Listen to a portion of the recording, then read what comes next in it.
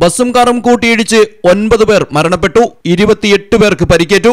ഗുജറാത്തിലെ നവസാരി ജില്ലയിലാണ് സംഭവം. വാഹനം ഓടിക്കുന്നതിനിടെ ബസ് ഡ്രൈവർക്ക് ഹൃദയാഘാതം സംഭവിച്ചതാണ് അപകടത്തിന് കാരണമായതെന്നാണ് പ്രാഥമിക വിവരം. നിയന്ത്രണം നഷ്ടപ്പെട്ട ബസ് എതിരെ വരികയായിരുന്ന കാറിലേക്ക് ഇടിക്കുകയായിരുന്നു. സൂററ്റിലെ ഒരു ഉത്സവത്തിൽ പങ്കെടുത്ത് മടങ്ങുകയായിരുന്ന ആളുകളാണ് ബസ്സിലുണ്ടായിരുന്നത്. നിറയെ ആളുകളുമായി എത്തിയ ബസ് നവസാരി ദേശീയപാതയിൽ വെച്ച് കാറുമായി കൂട്ടിയിടിക്കുകയായിരുന്നു. ഹൃദയാഘാതം സംഭവിച്ച ഡ്രൈവറെ ഉടൻ ആശുപത്രിയിൽ എത്തിച്ചെങ്കിലും ഡ്രൈവർ മരണപ്പെടുകയായിരുന്നു. കാറിൽ ഉണ്ടായിരുന്ന ഒൻപത് പേരിൽ പേരും മരണപ്പെട്ടു. പരിക്കേറ്റവരെല്ലാം ബസ്സിലെ യാത്രക്കാരാണ്. ഇതിൽ പതിനൊന്ന് പേർ ഇപ്പോഴും ചികിത്സയിലാണ്. ഗുജറാത്തിലെ അങ്കുലേശ്വർ സ്വദേശികളാണ് കാറിൽ ഉണ്ടായിരുന്നത്. News desk Malayalam television.